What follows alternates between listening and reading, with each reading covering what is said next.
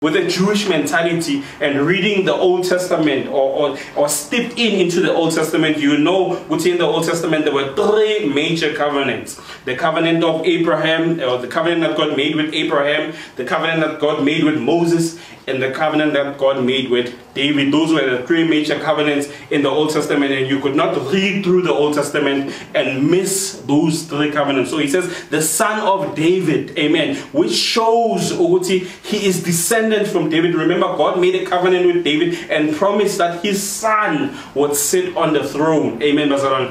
And it's an important fact. I, I remember I was having a conversation with a Jehovah's Witness elder and I made this a, a point to him because uh, uh, according to Watchtower teaching, uh, Jesus Christ was the Archangel Michael and he was, uh, uh, when, when he was about to be incarnate, uh, uh, in the womb of Mary.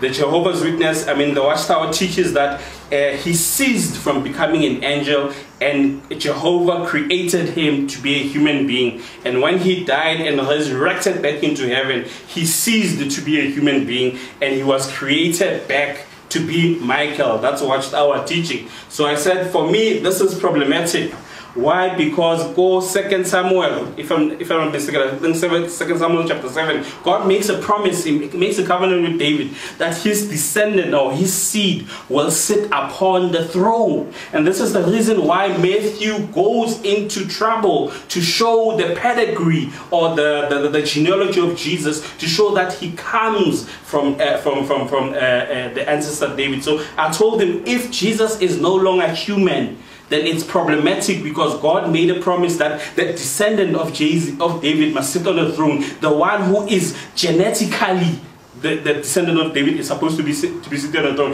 And if Jesus is no longer human, he no longer contains the genes of David in his body, and therefore it invalidates the promise that God made to David that his son will sit on the throne forever.